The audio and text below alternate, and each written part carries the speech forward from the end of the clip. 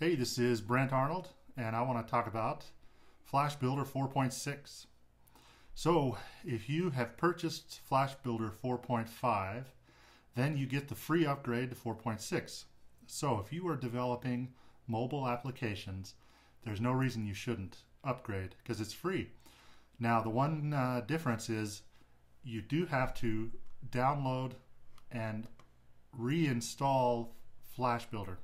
And the reason for that is Flash Builder 4.5 is built on an older version of Eclipse, and in order to get some of the new functionality, they had to move up to a newer version of Eclipse. And so you have to uninstall 4.5 and then install 4.6. Uh, your serial number should work for it, uh, shouldn't be too much trouble. Okay, why do we want to be upgraded to 4.6? Well, check this out. Notice this cool little screen here. Now, if you've been working with Flash Builder or Flex Builder, you know, they've had these little welcome screens for a while now. But uh, this one actually, uh, it actually does some good. First of all, you've got some cool new things here over here on the left. You've got this new create functionality, so you can uh, go ahead and click one of these and create a new project. So that's one cool thing. Um, it's got other stuff, you know, latest news. Uh, it's got references for Air native extensions. I mean, it's really a, a great little, uh, you know, welcome screen. So don't just ignore it like we used to. Now we can make use of it. All right, so I want to show you some of the new things. Let's go ahead and click uh, New Flex Mobile Project. And this is going to bring up the dialog. Now, here we have, um, you know, this is very similar to what we've seen in 4.5. So I'm just going to say Test App and go ahead and click Next. And then uh, notice here that we've got Apple iOS, BlackBerry tablet, and Google Android. So now you can create for all three targets. So if you're going to target either one of these, uh, you can choose the different templates. You know, we have blank, view-based, and tabbed application. And I've covered these functionalities in other tutorials. So it's the same concept, but you'll notice that you've got the added Apple iOS uh, benefit.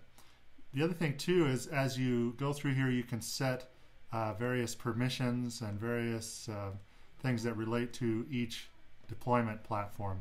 Uh, for now, just know that you can target all three, and uh, that's the way to do it. So I'm going to go ahead and click Finish. And this is going to go ahead and create a new mobile project. And it's got everything set up for us. Now, Again, these are some new features within Flash Builder 4.6, having the ability to target all three mobile platforms, which is a big deal. The other thing, uh, we've got this support for ActionScript native extensions.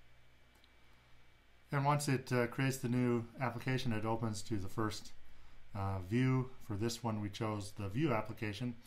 So again, these are all things that are very similar to what we've seen uh, but here we've got the chance now to work with ActionScript native extensions. Now to access that, uh, go ahead and click Project and we're going to go to Properties. And then over here we're going to look at Build Packaging. And whenever we work with a deployment, so if you have if you're working for iOS, then here's where you enter information.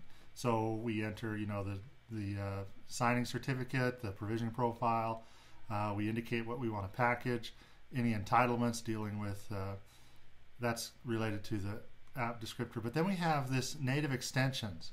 Now, if you're going to use, and I'll show this in a demonstration for another tutorial, um, but now you have the ability to compile and create the app using the native extension by going through this dialog here. And you do that for each target uh, platform that you're trying to release for.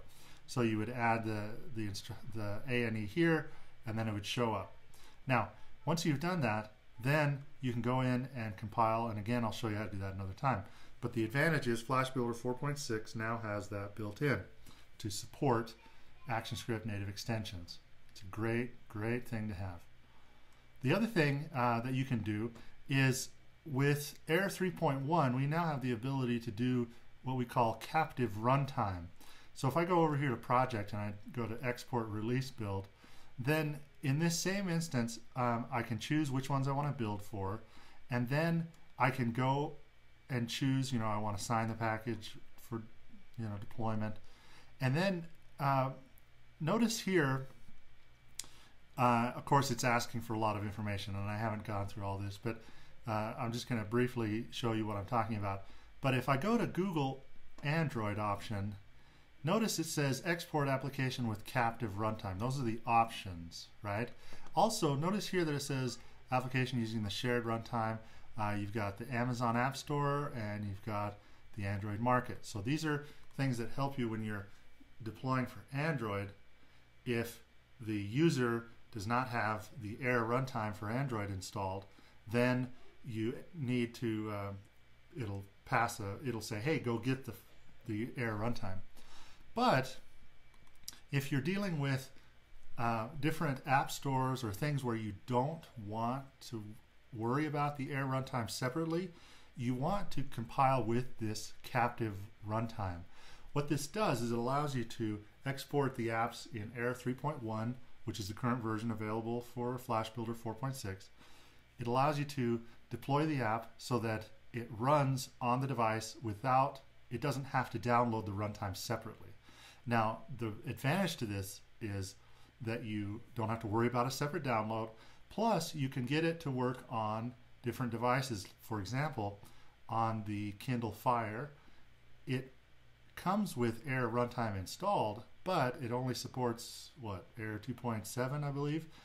Well, Air 3.1 has a lot of features you may want to use. So, in order to get that, you would use the captive runtime. So, your captive runtime Air app runs on Kindle Fire, as well as the Nook Color and Nook Tablet. Same principle. They they have a different Air runtime installed. So so there's a lot of advantages for captive runtime.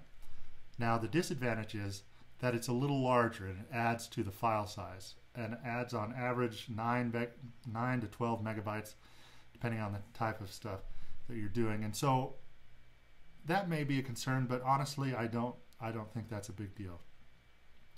So again, uh, these are some new functionality available to Flash Builder 4.6 and some new tutorials. I'll cover how to work with some more ActionScript native extensions. Uh, I also want to show how to work with BlackBerry Playbook and some other awesome stuff. All right, thanks for watching.